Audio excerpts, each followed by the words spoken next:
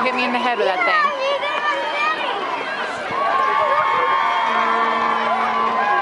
Well, the run. 15